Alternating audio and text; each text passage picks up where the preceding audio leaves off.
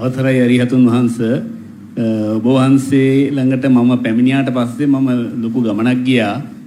මොකද මම මේ අවුරුදු හතරක් පහක්ම චේතෝ විමුක්තිය පස්සේ ගිහිල්ලා ධානා මට්ටම් වලට තමයි ගන්න යන්න උත්සාහ කළේ.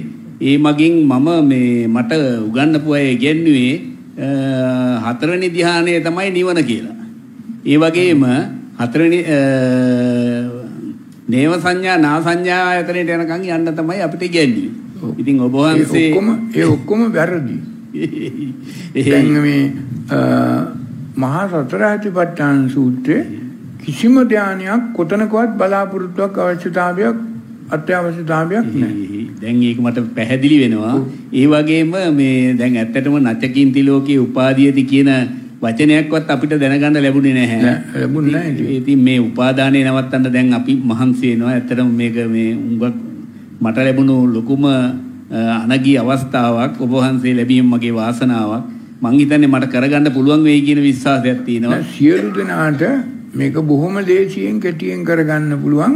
හරියට මේ දේවල් තේරුම් අරගන්නත් ඕන තේරුම් ගත්ත තරමටම භාවිතා කරන්න. මේ භාවිතය තමයි තාම පුද්ගලයන් තුල නැත්තේ. මෙතන නැත්තෙම භාවිතය කියලා කියව කියනවා. පොත් කියව කියව ඉන්නවා. එක ගාත කියව කියව ඉන්නවා. එක පිළිත් කියව කියව ඉන්නවා. ඒක භාවිතයක් නෙමෙයි. අද උදේ අර මා ගිරිමානන්ද සූත්‍රයේ පැහැදිලිව කිව්වා මොකද්ද භාවිතය කියලා. භාවිතය කරනවා නම් දෙපැත්තක් තියෙනවා. එක පැත්තක් භාවයට පංච භාවිතම් කරන්න පහට පංච පහිනම් කරන්න ඕනේ. දෙකම තියෙන්න ඕනේ.